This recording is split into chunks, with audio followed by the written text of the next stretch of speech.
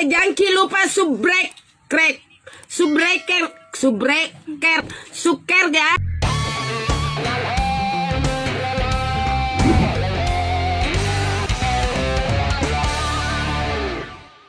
Oke teman-teman, kita ketemu lagi dan langsung aja kita kali ini mau review uh, lanjutannya kemarin dari MRR. Kemarin kan kita udah review yang nomor berapa kemarin ini? Nomor 9. Jadi kali ini kita ada yang baru.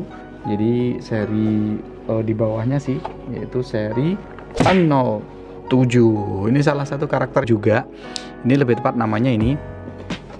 Kelihatan sih? Nah, Yellow Yellow Gears itu ya namanya. Dia nomor 7 kalau kemarin kita nomor uh, berapa ya kemarin? Nomor 9 yang disaster. Ini ada Yellow Gears yang akan kita review kali ini seperti biasa ya. Dan kemarin kalau di disaster yang nomor 9 itu kardusnya warnanya ungu sama seperti warna karakternya.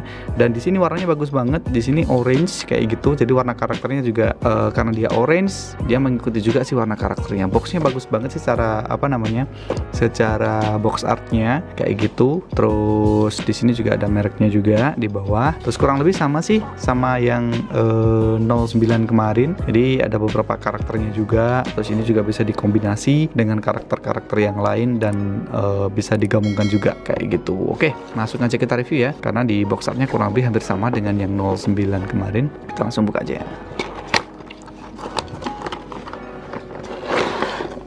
Wow Yes, ini dia penampakannya yang dari dalam untuk uh, apa namanya robotnya Yellow Gears. Yellow, tapi di sini mungkin warnanya lebih cenderung ke orange ya. Kayak gitu. Seperti biasa ada manual booknya di sini. Bisa kita lihat, kita dapat stiker dan di, uh, atau decalsnya juga. Kayak gitu. Kita bisa baca bentar gimana caranya nanti buat uh, mengubah robotnya menjadi sebuah robot yang lebih besar kayak gitu. Oke. Jadi seperti ini.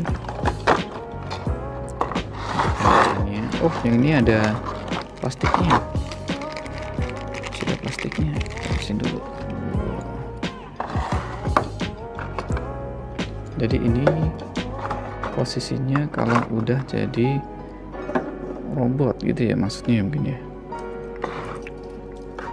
Nah, kurang lebih penampakannya seperti ini. Keren ya. Jadi dia ada bagian yang yang transparan kayak gitu. Kayak gini di kepalanya kan dia transparan kayak gitu bagus. Bagus banget tapi secara keseluruhan hampir sama bentuknya dan mungkin artikulasinya juga mungkin hampir sama mirip juga. Ini dalam mode robotnya ya. Ini ada beberapa stiker yang udah nempel juga. Itu apa cadangan tadi ya? Kayak gitu. Ini yang nomor satu. Nah, ini nomornya cari ke mana nomornya di sini. Nomor satu bentuknya pasti paling bongsor sendiri paling gede sendiri. Hmm, di sini saya suka warnanya ya. Warna bagus banget. Oke coba kita uh, ubah dulu. Eh, jangan lupa subrek krek subreker subreker suker ya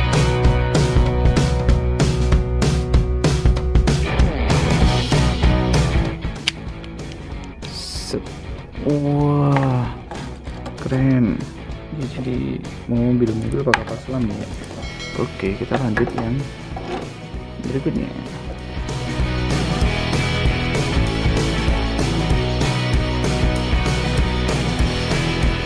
Kita langsung aja coba transform mereka ke bentuk robot yang versi gatai alias bergabungnya.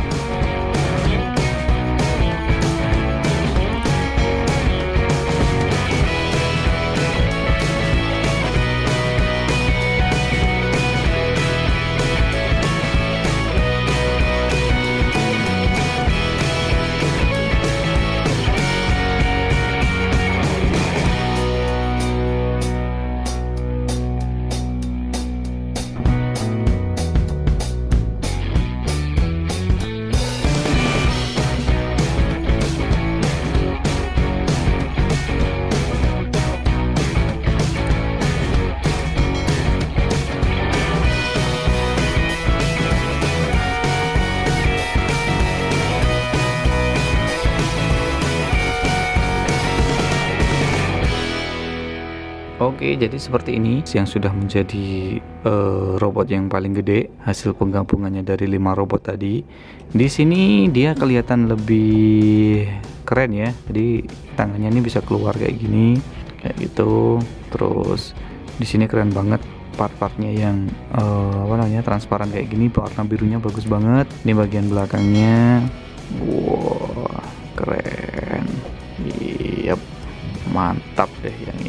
warnanya bagus banget sih. Kalau misalkan boleh jujur di sini artikulasinya juga seperti biasa sama kayak mungkin dengan yang nomor 9 yang di Sester kayak gitu. Uh, di sini mungkin kalau perbandingannya coba saya ambil dulu.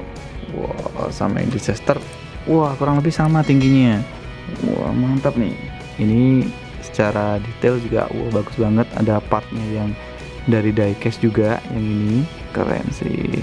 Wah coba kita lihat bagian belakangnya wah ini kalau bisa ngumpulin semua keren banget ya pasti dipajang. Wah. Mantap mantap mantap, mantap.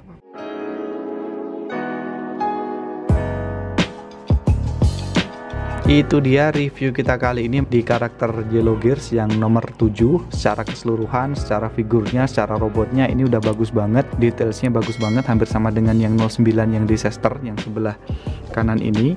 Jadi misalkan kalau teman-teman mau koleksi ini udah cukup recommended banget dengan harganya Yang cuma ribu rupiah aja. Kayak gitu. Ada part diecastnya juga Terus beberapa joinnya ini agak keras ya. Jadi teman-teman kalau misalkan mau e, bongkar pasang agak lebih hati-hati aja kayak gitu. Tapi kalau misalkan yang keras kayak gini kan biasanya lebih awet seperti itu. Oke ya.